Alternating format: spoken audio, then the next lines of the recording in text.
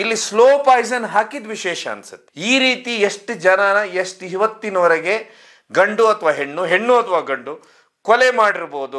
ಈ ದಿಲೀಪ್ ಏನ್ ಮಾಡ್ತಾನೆ ಅಂತ ಹೇಳಿದ್ರೆ ಇನ್ಸ್ಟಾಗ್ರಾಮ್ ಅಲ್ಲಿ ಹಾಯ್ ಹಲೋ ಇವೆಲ್ಲ ಶುರು ಆಗ್ತಾ ಆಗ್ತಾ ಮುಂದೆ ಬೇರೆ ಬೇರೆ ರೀತಿಯಲ್ಲಿ ತಿರುಗ್ತಾ ಇಬ್ಬರ ಮಧ್ಯ ಒಂದು ಸಂಬಂಧ ಬೆಳೆಯುತ್ತೆ. ಯಾಕಂತ ಹೇಳಿದ್ರೆ ಇಲ್ಲಿ ದಿಲೀಪನಿಗಿರುವ ವಯಸ್ಸು ಇಪ್ಪತ್ತಾರಿಂದ ಇಪ್ಪತ್ತೆಂಟು ಪ್ರತಿಮಾಗೆ ಮೂವತ್ತಾರು ಗಂಡನಿಗೆ ನಲವತ್ನಾಲ್ಕು.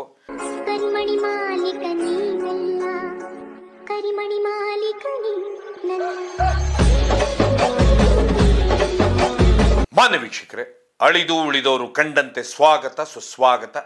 ಕರಿಮಣಿ ಮಾಲೀಕ ನೀನಲ್ಲ ಅಂಥೇಳಿ ಒಂದು ಅದ್ಭುತ ಹಾಡು. ಇಬ್ಬರು ಜೋಡಿನ ನೀವು ನೋಡಿದ್ರ. ತುಂಬಾ ಆಶ್ಚರ್ಯ ಅನಿಸುತ್ತೆ. ಏನು ಅನ್ಯೋನ್ಯವಾಗಿ ಇಬ್ಬರು ಹಾಡ್ತಾ ಇದ್ದಾರೆ ಯಾರು ಇವರು? ಲವರ್ಸಾ, ಗಂಡ ಹೆಂಡತಿಯ? ಅಥವಾ ಇನ್ಯಾರು ಅಂದ ಕೂಡಲೇ ಬರುವಂಥ ಪ್ರಶ್ನೆ ಇವರಿಬ್ಬರು ಗಂಡ ಹೆಂಡತಿ. ಅಲ್ಲಿದ್ದಂಥ ಡ್ಯಾನ್ಸ್ ಮಾಡ್ತಾ ಇದ್ದಂಥವ್ರು ಚಶ್ಮಾ ಹಾಕ್ಕೊಂಡವರು ಬಾಲಕೃಷ್ಣ ಅಂಥೇಳಿ ಅವ್ರಿಗೆ ನಲವತ್ನಾಲ್ಕು ವರ್ಷ. ಅದರ ಪಕ್ಕದಲ್ಲಿದ್ದಂಥದ್ದು ಅವರ ಹೆಂಡತಿ ಪ್ರತಿಮಾ ಅಂಥೇಳಿ ಮೂವತ್ತಾರು ವರ್ಷ. ಹಾಗಾದ್ರೆ ಏನಾಯ್ತು ಇಬ್ರು ಸಮಸ್ಯೆ? ಯಾರು ಇದರಲ್ಲಿ ಹೊರಟು ಹೋದವರು ಅಂತ ನೋಡ್ತಾ ಹೋದ್ರೆ ಬಾಲಕರಬ್ಬರ ಹತ್ಯೆ ಆಯಿತು. ಹೇಗೆ ಹತ್ಯೆ ಆಯಿತು ಅಂತ ನೋಡ್ತಾ ಹೋದರೆ ಸ್ಲೋ ಪಾಯ್ಸನ್ನಿಂದ ಹತ್ಯೆ ಆಯಿತು. ಅರೆ, ಸ್ಲೋ ಪಾಯ್ಸನ್ ಈಗಲೂ ಕೊಡ್ತಾರ. ಸ್ಲೋ ಪಾಯ್ಸನ್ನಿಂದ ಮನುಷ್ಯ ಸಾಯ್ಲಿಕ್ಕೆ ಸಾಧ್ಯ ಇದೆನಾ ಅನ್ನುವಂಥ ಸುಮಾರು ಪ್ರಶ್ನೆಗಳು ಹೇಳ್ತವೆ. ಯಾಕೆ ಹೆಂಡತಂದಿರು ಗಂಡಂದಿರಿಗೆ ಸ್ಲೋ ಪಾಯ್ಸನ್ ಕೊಡ್ತಾರೆ ಅನ್ನುವಂಥ ಪ್ರಶ್ನೆನೂ ಬರುತ್ತೆ. ಅದು ಯಾಕೆ ಅಂತ ಹೇಳಿದ್ರೆ ಇವತ್ತಿನ ಸೋಷಿಯಲ್ ಮೀಡಿಯಾದ ಇಫೆಕ್ಟ್ ಬೇಕು. ಯಾಕಂತ ಹೇಳಿದ್ರೆ ಇದು ಒಂದು ಮಧ್ಯಮ ವರ್ಗದ ಕುಟುಂಬ. ಬಾಲಕೃಷ್ಣ ಅವರು ಕೆಲಸಕ್ಕೆ ಹೋಗ್ತಾ ಇರ್ತಾರೆ. ಹೆಂಡತಿ ಪ್ರತಿಮಾ ಅಂತ ಹೇಳಿದ್ರೆ ಮಗು ಇರುತ್ತೆ ಮಕ್ಕಳು ಇರ್ತಾರೆ. ಹೀಗಾಗಿ ಅವ್ರಿಗೆ ರೀಲ್ಸ್ ಮಾಡು ಹುಚ್ಚಿರುತ್ತೆ. ಬೇರೆ ಬೇರೆ ಥರದ್ದು ರೀಲ್ಸ್ ಮಾಡಿ ಇನ್ಸ್ಟಾಗ್ರಾಮಲ್ಲಿ ಹಂಚ್ಕೊಳ್ಳುವಂಥದ್ದು ಹುಚ್ಚಿರುತ್ತೆ. ಬೇರೆ ಬೇರೆ ವೃತ್ತಿಯಲ್ಲಿ ಆಸಕ್ತಿ ಇರುತ್ತೆ ಅಂತ ಹೇಳಿ ಅವ್ರು ಏನು ಮಾಡ್ತಾರೆ ಅಂದರೆ ಹೆಂಡತಿಗೆ ಒಂದು ಬ್ಯೂಟಿ ಪಾರ್ಲರನ್ನು ಹಾಕಿಕೊಡ್ತಾರೆ. ಯಾವಾಗ ಬ್ಯೂಟಿ ಪಾರ್ಲರ್ ಹಾಕಿ ಕೊಡ್ತಾರೆ, ಆಗ ಹೆಂಡತಿ ಏನು ಮಾಡ್ತಾಳೆ ಅಂತ ಹೇಳಿದ್ರೆ, ಅದನ್ನು ವಿಶೇಷವಾಗಿ ಮೇಕಪ್ ಮಾಡಿದ್ದಂಥದ್ದು ಮೇಕಪ್ ಮಾಡಿಕೊಂಡಿರುವಂಥದ್ದು ರೀಲ್ಸಲ್ಲಿ ಇನ್ಸ್ಟಾಗ್ರಾಮಲ್ಲಿ ಫೇಸ್ಬುಕ್ಕಲ್ಲಿ ಹಂಚಿಕೊಳ್ಳಿಕ್ಕೆ ಶುರು ಮಾಡ್ತಾಳೆ. ಸುಮಾರು ಸ್ನೇಹಿತರಲ್ಲಿ ಬೆಳೀತಾ ಹೋಗ್ತಾರೆ. ಆಗ ಬಸ್ ಸ್ನೇಹಿತ ಹುಟ್ಟುತ್ತಾನೆ ಸ್ನೇಹಿತ ಬರ್ತಾನೆ. ಇದರಲ್ಲಿ ಬರುವಂಥ ಇನ್ನೊಬ್ಬ ವ್ಯಕ್ತಿ ಅಂದರೆ ದಿಲೀಪು. ಈ ದಿಲೀಪ್ ಏನು ಮಾಡ್ತಾನೆ ಅಂತ ಹೇಳಿದ್ರೆ ಇನ್ಸ್ಟಾಗ್ರಾಮಲ್ಲಿ ಹಾಯ್ ಹಲೋ ಇವೆಲ್ಲ ಶುರು ಆಗ್ತಾ ಆಗ್ತಾ ಮುಂದೆ ಬೇರೆ ಬೇರೆ ರೀತಿಯಲ್ಲಿ ತಿರುಗ್ತಾ ಇಬ್ಬರ ಮಧ್ಯ ಒಂದು ಸಂಬಂಧ ಬೆಳೆಯುತ್ತೆ. ಯಾಕಂತ ಹೇಳಿದ್ರೆ ಇಲ್ಲಿ ದಿಲೀಪನಿಗಿರುವ ವಯಸ್ಸು ಇಪ್ಪತ್ತಾರಿಂದ ಇಪ್ಪತ್ತೆಂಟು ಅನ್ನುವಂಥದ್ದು. ಈ ಹುಡು, ಈ ಪ್ರತಿಮಾಗೆ ಮೂವತ್ತಾರು, ಗಂಡನಿಗೆ ನಲವತ್ನಾಲ್ಕು.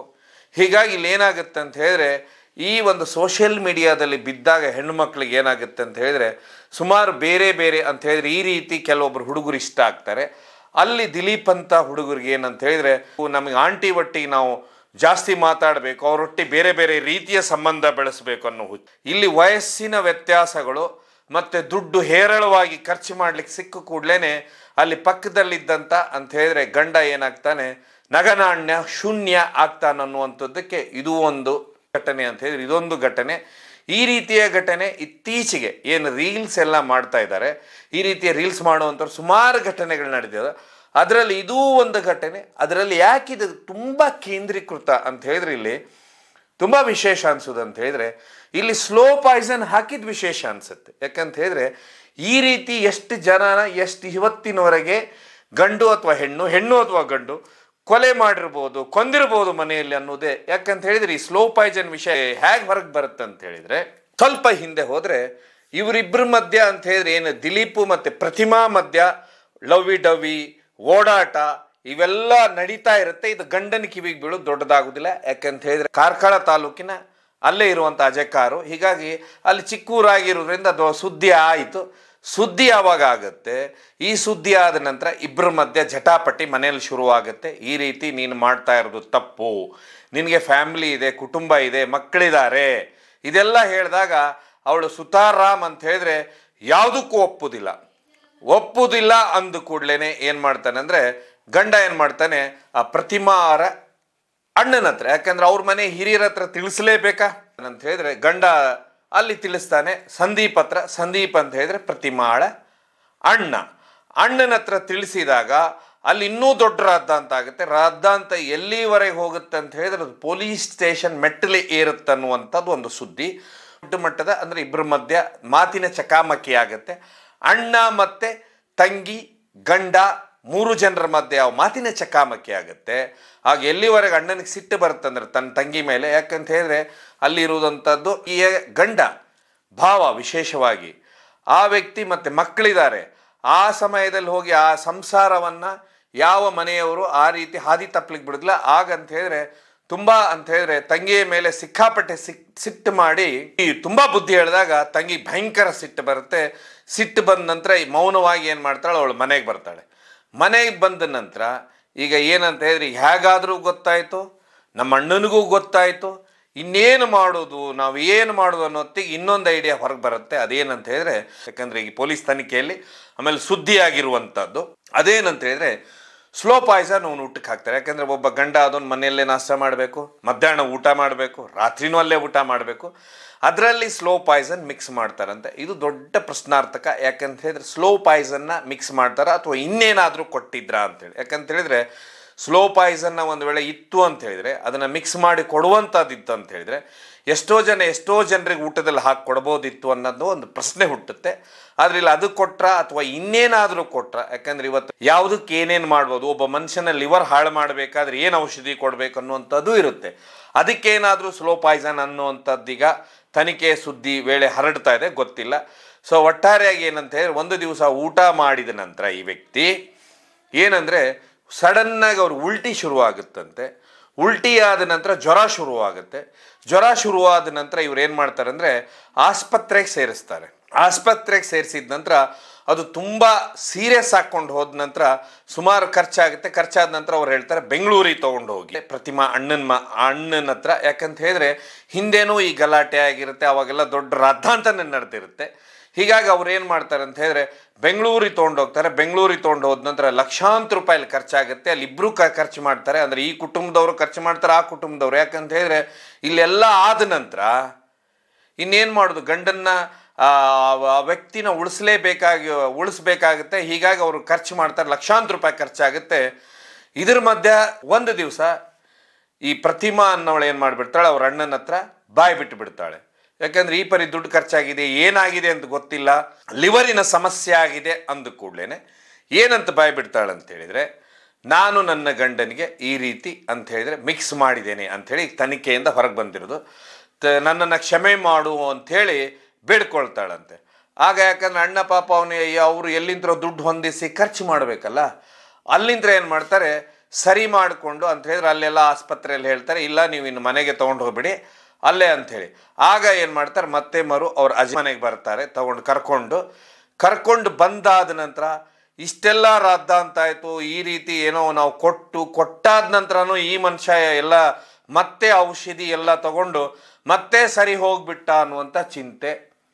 ಇದೆಲ್ಲದಕ್ಕಿಂತ ಹೆಚ್ಚಾಗಿ ಈ ನಮ್ಮಿಬ್ಬರ ಮಧ್ಯೆ ಏನು ಒಂದು ಇದು ಆಗ್ಬೇಕು, ಸಂಬಂಧ ಗಟ್ಟಿ ಆಗ್ಬೇಕಂದ್ರೆ ಅಂತ ಹೇಳಿದ್ರೆ ಅಲ್ಲಿ ವಿಚಿತ್ರವಾಗಿರುತ್ತೆ ಇದು. ಈ ರೀತಿಯ ಲವ್ಗಳೆಲ್ಲ ತುಂಬ ವಿಚಿತ್ರ. ಈ ಅನೈತಿಕ ಸಂಬಂಧಗಳು ವಿಚಿತ್ರವಾಗಿರುತ್ತೆ.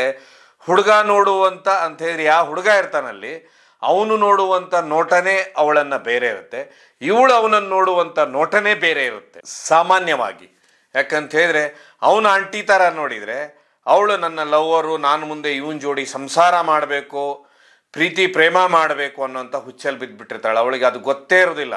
ಸಮಾಜ ಏನು ಹೇಳುತ್ತೆ? ಒಂದು ವೇಳೆ ಇವನೊಟ್ಟಿಗೆ ಇಷ್ಟೊತ್ತಿಗೆ ನನ್ನ ಮದುವೆ ಆಗಿದೆ, ಮಕ್ಕಳಿದ್ದಾರೆ ಒಂದು ಈ ರೀತಿ ಮನಸ್ಥಿತಿ ಹೊಂದಿದ, ವಿಕೃತವಾದ ಮನಸ್ಸು ಹೊಂದಿದ, ತಮ್ಮ ಚಂಚಲತೆಯನ್ನು, ತಮ್ಮ ಆಕಾಂಕ್ಷೆಗಳನ್ನು ಯಾರಿಗೆ ತಡ್ಕೊಳ್ಳಿಕ್ಕೆ ಸಾಧ್ಯ ಇಲ್ಲ, ಅಂದರೆ ತಮ್ಮ ಆಸೆಗಳನ್ನು ಆಸೆಗಳನ್ನು ಯಾರಿಗೆ ತಡ್ಕೊಳ್ಳಿಕ್ಕೆ ಸಾಧ್ಯ ಇಲ್ಲ, ಅವ್ರ ಮನಸ್ಥಿತಿ ಹೀಗೆ ಇರುತ್ತಂತೆ.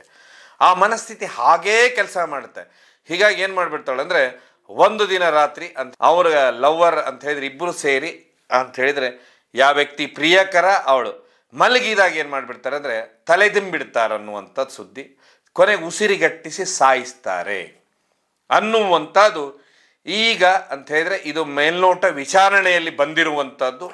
ಮಾಧ್ಯಮಗಳಲ್ಲಿ ಹರಿದಾಡ್ತಾ ಇರುವಂಥ ಸುದ್ದಿ. ಆದರೆ ಇದ್ರ ಮುಂದೆ ಇನ್ನೂ ತನಿಖೆ ಆದ ನಂತರ ಗೊತ್ತಾಗುತ್ತೆ. ಯಾಕಂತ ಹೇಳಿದ್ರೆ, ಇಲ್ಲಿ ಸುಮ್ಮ ಸುಮ್ಮನೆ ಅಂತೂ ಪೊಲೀಸರು ಯಾರನ್ನೂ ಬಂಧಿಸುವುದಿಲ್ಲ. ಅಲ್ಲಿ ಅವ್ರು ಇದ್ದ ಮೇಲೇ ಅವ್ರನ್ನ ಕರ್ಕೊಂಡು ಹೋಗ್ತಾರೆ, ಬಂಧಿಸ್ತಾರೆ. ಹಾಗಾದ್ರೆ ಇದು ಏನಂತ ಹೇಳಿದ್ರೆ, ತುಂಬ ಅಂತ ಹೇಳಿದ್ರೆ ಬೇರೆ ಬೇರೆ ರೀತಿಯ ಆಯಾಮದಲ್ಲಿ ಇಲ್ಲಿ ನಡೆದಿರುತ್ತೆ. ಯಾಕಂತ ಹೇಳಿದ್ರೆ, ಇಲ್ಲಿ ಒಂದು ಏನಂತ ಹೇಳಿದ್ರೆ ಆಸ್ಪತ್ರೆ ತೊಗೊಂಡೋದಾಗ ಮೆಡಿಕಲ್ ರಿಪೋರ್ಟ್ಗಳಿರ್ತವೆ ಇದೆಲ್ಲ ಇದ್ದ ನಂತರನೇ ಹೀಗಾಗಿರುತ್ತೆ. ಹೀಗಾಗಿ ಇಬ್ಬರನ್ನೂ ಬಂಧಿಸಿ ತೀವ್ರವಾಗಿ ವಿಚಾರಣೆ ನಡೆದಿದೆ. ಆದರೆ ಇದು ಅಂತ ಹೇಳಿದ್ರೆ ಈ ರೀತಿ ಇತ್ತೀಚೆಗೆ ಈ ಘಟನೆಗಳು ಸುಮಾರು ನಡೀತಾ ಇದ್ದಾವೆ ಈ ಒಂದು ಸೋಷಿಯಲ್ ಮೀಡಿಯಾದ ಇನ್ಫ್ಯಾಕ್ಟ್ ಇಷ್ಟ ಆಗಿಬಿಟ್ಟದ್ದು ಅಂತ ಹೇಳಿದ್ರೆ ಕೆಲವೊಬ್ರು ರೀಲ್ಸ್ ಮಾಡು ಹುಚ್ಚಿಗೆ ಬಿದ್ದು ವಿಶೇಷವಾದ, ವಿಭಿನ್ನವಾದ ಬ, ಬಟ್ಟೆಗಳನ್ನೆಲ್ಲ ಡ್ರೆಸ್ನೆಲ್ಲ ಹಾಕ್ಕೊಂಡು ರೀಲ್ಸಲ್ಲಿ ಬಿಡ್ತಿರ್ತಾರೆ. ಇವರಿಂದ ಏನು ಮಾಡಿಬಿಡ್ತಾರೆ? ಹುಡುಗರು ಬೆನ್ನತ್ತುತ್ತಾರೆ. ಹುಡುಗರ, ಅವ್ರು ಏನು ಹುಡುಗರು ಬೆನ್ನತ್ತುತ್ತಾರೆ? ಅವ್ರು ಮಾಡುವಂಥ ಕಾಮೆಂಟ್ಸ್ ಇರ್ಬೋದು. ಅವ್ರು ಮಾಡುವಂಥ ಕೆಲವೊಂದು ರಂಗು ರಂಗಿನ ಏನು ಅವರು ಡ್ರೆಸ್ ಹಾಕ್ಕೊಂಡು ಅದರಲ್ಲಿ ವಿಡಿಯೋ ಕಳಿಸೋದಿರ್ಬೋದು, ಅಥವಾ ಅವ್ರ ಮಾತಿನ ಶೈಲಿ ಇರ್ಬೋದು, ಅಥವಾ ಅವರು ದುಡ್ಡು ಖರ್ಚು ಮಾಡಲಿಕ್ಕೆ ಇವ್ರ ಮೇಲೆ ಸಿದ್ಧರಾಗಿರುವಂಥದ್ದು ಇರ್ಬೋದು ಇದೆಲ್ಲ ಏನಾಗ್ತಾ ಇದೆ ಅಂದರೆ ಕೆಲವೊಂದು ಸಂಸಾರದಲ್ಲಿ ಈ ರೀತಿಯ ಸುಮಾರು ಅಂತ ಹೇಳಿದ್ರೆ ಇತ್ತೀಚೆಗೆ ಕೆಲವೊಂದು ಕೊಲೆಗಳು ನಡೀತಾ ಇರೋದಕ್ಕೆ ಇದು ಒಂದು ದೊಡ್ಡ ಕಾರಣ ಆಗಿದೆ ಅನ್ನೋದಕ್ಕೆ ಅಂತ ಹೇಳಿದ್ರೆ ಬಾಲಕೃಷ್ಣ ಅವರ ಹತ್ಯೆ ಏನಾಗಿದೆ? ಇದು ಹತ್ಯೆ, ಮರ್ಡರೋ ಅಥವಾ ಸಹಜ ಸಾವೋ ಅಥವಾ ಬಹು ಅಂಗಾಂಗ ವೈಫಲ್ಯವೋ, ಅಥವಾ ಇವರು ಉಸಿರು ಕಟ್ಟಿಸಿ ಸಾಯಿಸಿದ್ರ ಅನ್ನುವಂಥದ್ದು ಏನೋ ಒಂದು ಈ ಪ್ರಶ್ನಾರ್ಥಕ ಚಿಹ್ನೆಯಲ್ಲಿ ಈಗಾಗಲೇ ಬಂಧನವಾಗಿ ತೀವ್ರ ವಿಚಾರಣೆ ನಡೆದಿದೆ. ಇಲ್ಲಿ ಅರ್ಥ ಆಗುತ್ತೆ, ಮುಂದಾಲೋಚನೆ ಇರಲಾರ್ದವರ ಸಂಸಾರಗಳು ಅಂತ ಹೆಣ್ಣು ಮಕ್ಕಳು ಮುಂದಾಲೋಚನೆ ಮಾಡಿ ಯಾವಾಗ ಸಂಸಾರಕ್ಕೆ ಸಂಸಾರವನ್ನು ಸಹ ದಾರಿಗೆ ತಗೊಂಡು ಹೋಗ್ಲಾರ್ದೇ ಈ ರೀತಿ ಅಡ್ಡದಾರಿ ಹಿಡಿದಾಗ ಏನಾಗುತ್ತೆ ಅಂತ ಹೇಳಿದ್ರೆ, ಈ ರೀತಿಗೆ ಎಂಟಾರಿಗೆ ವ್ಯಕ್ತಿ ಒಬ್ಬ ಸತ್ತೋದ ಸಂಸಾರ ಹೋಯ್ತು. ಮಕ್ಕಳ ಗತಿ ಏನು ಅನ್ನುವಂಥ ಯೋಚನೆ ಅವ ಆ ಈ ಇಬ್ರು ಅಂತ ಹೇಳಿದ್ರಿ ಆ ಆ ಹೆಣ್ಣು ಮಗಳಿಗೆ. ಯಾಕಂತ ಆ ಹೆಣ್ಣು ಮಗಳಿಗೆ ಗೊತ್ತಾಗಬೇಕು. ಯಾಕಂತ ಹೇಳಿದ್ರೆ ಸುಂದರವಾದ ಸಂಸಾರ. ಆಮೇಲೆ ಎಲ್ಲದಕ್ಕಿಂತ ಫಸ್ಟ್ ಅಂತ ಹೇಳಿದ್ರೆ ಆ ಹಾಡಿನಲ್ಲಿ ಬರುವಾಗ ಕರಿಮಣಿ ಮಾಲೀಕ ನೀನಲ್ಲ ಅನ್ನೋ ಅರ್ಥಕ್ಕೆ ಎಲ್ಲೋ ಒಂದು ಕಡೆದ ಅರ್ಥ ಕೊಡುತ್ತೆ. ಆ ರೀತಿ ಸಮಾಜದ ಅಂತ ಹೇಳಿದ್ರೆ ಈ ರೀಲ್ಸ್ನಿಂದ ಎಲ್ಲೋ ಒಂದು ಕಡೆ ಸಮಾಜದಲ್ಲಿ ಹಾಳಾಗ್ತಾ ಇದೆ ಅನ್ನೋದೇ ತುಂಬ ದುರಾದೃಷ್ಟ. ನೋಡೋ ಮುಂದೆ ಈ ಕೇಸ್ ಏನಾಗುತ್ತೆ? ಇದರ ತನಿಖೆ, ಇದರ ಸಾಕ್ಷಿ, ಇದರ ವಿಚಾರಣೆ ಏನಾಗುತ್ತೆ? ಏನೆಲ್ಲ ಪಿ ಎಂ ಎಲ್ ರಿಪೋರ್ಟ್ ಬರುತ್ತೆ? ಜನ ಜಾಗೃತಿಗೋಸ್ಕರ ಯಾವತ್ತು ನಾವು ಹಿಂದೆ ಮುಂದೆ ಯೋಚನೆ ಮಾಡಲಾರ್ದೆ ಎಲ್ಲ ಮಾಡ್ತೇವೆ. ಅದರ ದುಷ್ಪರಿಣಾಮ ಏನಿರುತ್ತೆ ಅನ್ನೋದಕ್ಕೆ ಇದು ಒಂದು ವಿಚಿತ್ರ. ಅಂದರೆ ನಲವತ್ನಾಲ್ಕು, ಮೂವತ್ತಾರು, ಇಪ್ಪತ್ತೆಂಟು. ಮಧ್ಯ ನಡೆಯುವಂಥ ಒಂದು ತ್ರಿಕೋನ ಸಂಘರ್ಷದಲ್ಲಿ ಪಾಪ ಗಂಡ ಬಲಿಯಾಗ್ತಾನಂದರೆ ಇದು ತುಂಬ ದುರಾದೃಷ್ಟ. ಅದೆಲ್ಲದಕ್ಕಿಂತ ಹೆಚ್ಚಾಗಿ ಊಟದಲ್ಲಿ ಎಲ್ಲರ ವಿಷ ಹಾಕ್ಲಿಕ್ಕೆ ಶುರು ಮಾಡಿಬಿಟ್ರೆ ಮುಂದೆ ಯಾರನ್ನು ಯಾರು ನಂಬಬೇಕನ್ನುವಂಥದ್ದೇ ಇಲ್ಲಿ ಪ್ರಶ್ನಾರ್ಥಕ ಚಿಹ್ನೆ ಯಾಕಂತ ಹೇಳಿದರೆ ಸ್ಲೋ ಪಾಯ್ಸನ್ ಅಂತಾರೆ. ಸ್ಲೋ ಪಾಯ್ಸನ್ ಎಷ್ಟು ಸರಿಯೋ ತಪ್ಪೋ ನಮಗೆ ಗೊತ್ತಿಲ್ಲ. ಯಾಕಂದರೆ ಈ ರೀತಿ ಇದೇನಾ ಅಂತೇಳಿ. ಆದರೆ ಒಂದಂತೂ ನಂಬಲೇಬೇಕು. ಇವತ್ತು ಎಲ್ಲವನ್ನು ಯಾವ್ಯಾವ ಡ್ರಗ್ಸಲ್ಲಿ ಅಂದರೆ ಯಾವ್ಯಾವ ಔಷಧಿಯಲ್ಲಿ ಏನೇನಿರುತ್ತೆ, ಅದರಿಂದ ಎದ್ರ ಮೇಲೆ ಇಫೆಕ್ಟ್ ಆಗುತ್ತೆ ಅನ್ನುವಂಥದ್ದು ಮಾತ್ರ ಸುಮಾರು ಜನರಿಗೆ ಗೊತ್ತಿರುತ್ತೆ, ಯಾಕಂತ ಹೇಳಿದ್ರೆ ಅವರಲ್ಲಿ ಸೋಷಿಯಲ್ ಮೀಡಿಯಾದಲ್ಲಿ ನೆಟ್ಟಲ್ಲಿ ಹೋಗಿ ಚೆಕ್ ಮಾಡಿದಾಗ ಅದರ ಕಂಟೆಂಟ್ ಎಲ್ಲ ಬರುತ್ತೆ. ಈ ರೀತಿ ಇದರ ಇದನ್ನ ಇದರ ಅಡ್ಡ ಪರಿಣಾಮ ಹೇಗಿದೆ ಅನ್ನೋದಕ್ಕೆ ಇದೇ ಸಾಕ್ಷಿ ಅಂತ ಹೇಳಿ ಈ ಕಾರ್ಯಕ್ರಮನ ಮುಗಿಸ್ತೇನೆ. ಧನ್ಯವಾದ. ಇದು ಕೇವಲ ಜನಜಾಗೃತಿಗೋಸ್ಕರ ಧನ್ಯವಾದ.